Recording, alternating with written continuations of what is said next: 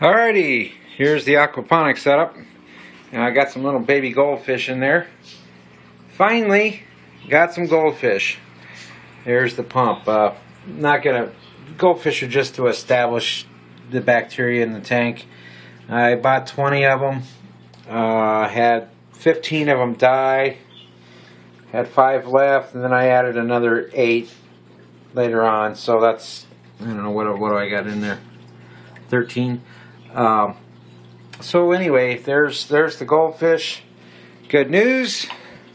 Got some sprouts. Look at them little guys. I think these are peas, if I remember right. These, I believe these are peas. Oh, that's not focusing too well, is it? So, stuff's growing. It is uh, March, oh, what is today? The 9th, 10th, something like that. We got some snow on the ground. Uh, it's the beautiful thing about aquaponics. Grow it indoors. Right over there, I think there's those are some uh, cucumbers. If that, there we go. Uh, light is not adjusting correctly.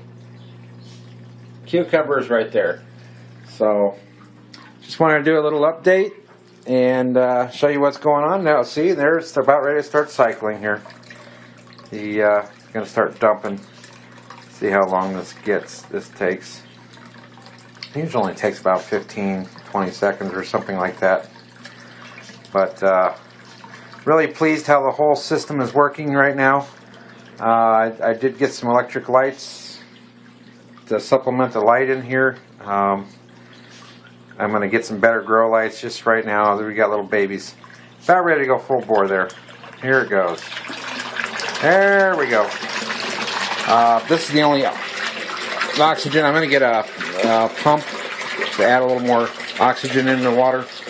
So anyway, I just wanted to share with y'all my aquaponics system and how it's coming along. Oh, I threw some uh, aloe vera in there. Oh, just because my aloe vera plants are, well, they keep dropping stuff all over. So thought I would try some aloe vera in the aquaponics setup. Anyhow, uh, there we go. That's that's what we have. Oh, by the way, I did add another pipe down there off here um, to divert some of the flow back into the tank. So that way, there's uh, I don't have to throttle down the, the this valve up here uh, and cause an extra load on the pump, which means more current draw, which means more electricity, and we want to avoid all that. So, anyhow, there we go. Uh, hope you enjoy this, find it useful, and thanks for watching.